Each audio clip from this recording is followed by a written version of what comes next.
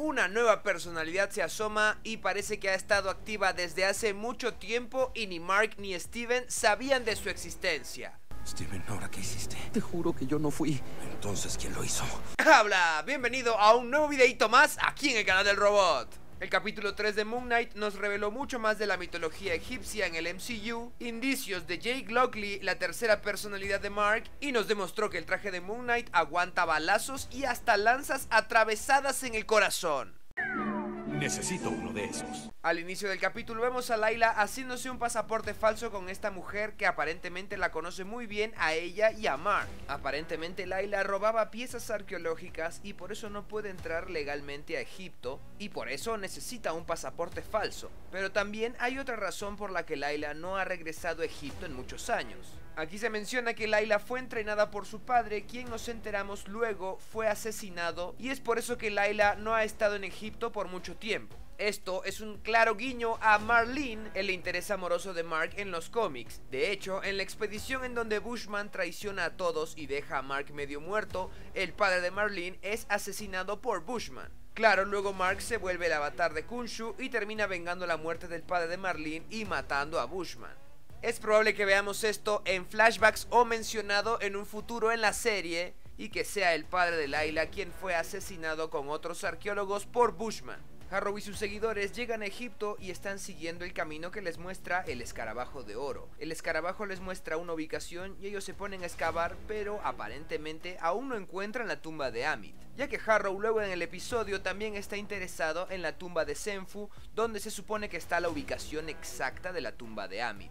Tal parece que este escarabajo no era tan preciso que digamos, o quizás Harrow va a la tumba de Senfu para destruir el mapa con la ubicación de la tumba de Amit y que Mark no pueda llegar hasta ahí. Vemos a Mark persiguiendo a un contacto para sacarle información, el cual es asesinado por estos matones sirvientes de Harrow. Mark pelea contra ellos mientras Steven lo distrae hablándole a través de reflejos como el del cuchillo. Incluso parece que Steven toma el control y se sube un taxi para irse de Egipto, pero Mark recupera el control y continúa con la persecución. Luego vemos que cuando Mark es noqueado por un golpe en la cabeza, él pierde el control y lo recupera luego de haber matado a todos los sirvientes de Harrow. Esto no lo hizo ni Mark ni Steven, sino una tercera personalidad que aparentemente no tiene remordimientos de matar a nadie. Originalmente pensábamos que Mark era mucho más sanguinario, pero parece que hay una personalidad aún más brutal que todavía no hemos conocido. En los cómics, Jake Lockley es la tercera personalidad de Mark Spector y es un taxista que principalmente se encarga de investigar información en las calles, pero probablemente para esta adaptación tenga un rol diferente. Es probable que Jake esté activo sin que Steven y Mark lo sepan, Recordemos que en el capítulo 1 alguien invitó a salir a la compañera de trabajo de Steven y como sospechábamos ni Mark ni Steven harían eso. Incluso cuando vemos a Mark con gorra durante este episodio es probable que estemos viendo a Jake, ya que en los cómics esta personalidad siempre usa una gorra y además su acento cambia ligeramente. Durante esta persecución notamos que Mark no usa el traje, parece que los poderes de Moon Knight solo funcionan durante la noche. Kunshu es el dios de la luna, así que es probable que sus poderes solo sirvan de noche. En este episodio también le vimos crear un eclipse y manipular las estrellas, lo que fue bastante cool y nos revela el gran poder que tienen estos dioses. Convoca a todos los dioses egipcios para que detengan a Harrow. Vemos que esta reunión se da dentro de la gran pirámide de Giza y vemos también a los avatares de los otros dioses. Al entrar a la cámara vemos una estatua del dios Bast, una referencia al dios pantero de Black Panther. Podríamos pensar que Black Panther es el avatar de Bast, aunque en esta escena no lo vimos, tan solo vimos cinco dioses representados por sus avatares en este episodio. Nos enteramos que los dioses no confían en Kunshu porque él siguió interviniendo en los asuntos de la humanidad, ya que ellos, al igual que los Eternals y básicamente todas las entidades cósmicas del universo, decidieron simplemente observar y no interferir en los problemas de los humanos, como cuando Thanos borró a la mitad de los seres vivientes del universo, por ejemplo. ¡Malditos sean! ¡Malditos sean todos! Otro dios que tampoco es del agrado de los dioses es Amit, que fue aprisionado y enterrado justamente porque también trataba de interferir en los problemas de la humanidad. Al final del episodio vemos que Kunshu es atrapado en una pequeña escultura, probablemente Amit también esté aprisionado de la misma manera. Los dioses no le creen ni a Kunshu ni a Mark y Harrow se libra de la acusación, aunque la avatar de Hathor le da una pista a Mark para que pueda encontrar la tumba de Amit. le dice que busque en el sarcófago de Senfu. Mark se encuentra con Layla y juntos van a buscar este sarcófago que es parte de la colección de antigüedades de Anton Mogart.